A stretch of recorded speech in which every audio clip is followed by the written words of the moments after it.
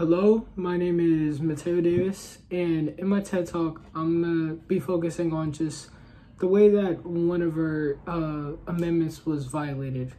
Uh, one right that has been violated in a way is the right to live in freedom, especially in today's day and age. Um, social media is prevalent in society and in culture nowadays, and although it has its pros, I believe it also has its cons to it. And I believe the cons outweigh the pros. So to unpack everything, the cons I believe, well, first let me set the scene. So nowadays, you know, everybody is facing facing a lot of external pressure. That's a part of life. Life will throw anything at you unexpectedly and you have to be ready for it, right?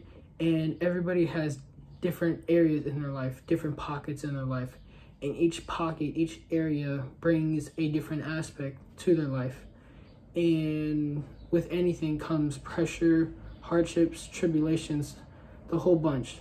So I believe that all that external pressure that's added from your different pockets in your life is enough. Um, and I believe social media adds unnecessary pressure because I believe when it comes to viewing Instagram, viewing Snapchat, you see the lives of others, and social media is made, is manufactured, is programmed to the way where you see everybody's highlights, everybody's bright moments in life. And I believe, although it's, I have, there's no problem in showing people your, um, how would you say, it, your bright sides to life.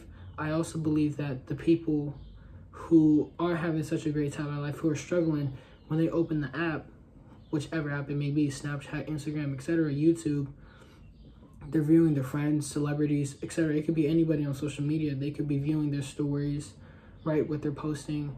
They could be like, wow, they have such a great life, right? They're, it looks like they're just coasting through life. Everything is just downhill, not downhill, but you know, everything's just a breeze for them.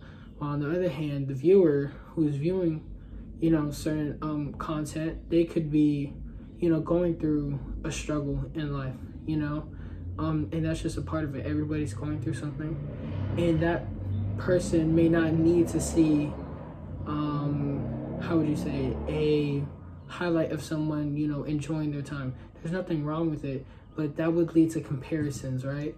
And the comparisons could lead to, you know, downgrading your own life, right? Comparing, because it's not right to compare and I feel like if you com- start making comparisons, it's just a matter of it's just a matter of playing a game of chase. And I believe that's not how you should live life. And that's why you can never be free. That's why I feel like that amendment, that right is violated in a way because social media has set it up and society, culture has set it up to a way where it's almost impossible to live free. And it's up to you because social media limits people's imaginations and it sort of traps people in a box. And the perceptions of others could lead to you being trapped. So, therefore, I believe that social media um, shouldn't completely be abolished, but it should be managed to the point where people are able to realize their true gift and to give it to the world and to make it a better place. And yeah, thank you.